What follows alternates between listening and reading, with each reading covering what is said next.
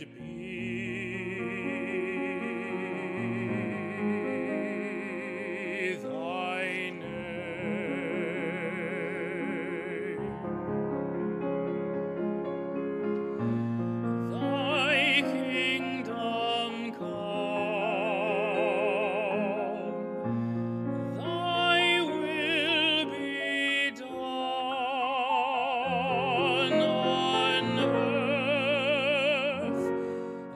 as it is in heaven.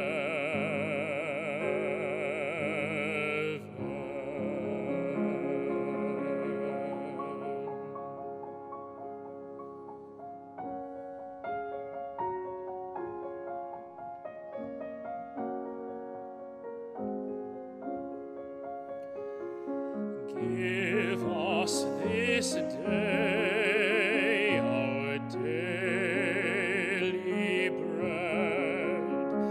and forgive us our debts as we forgive our debtors.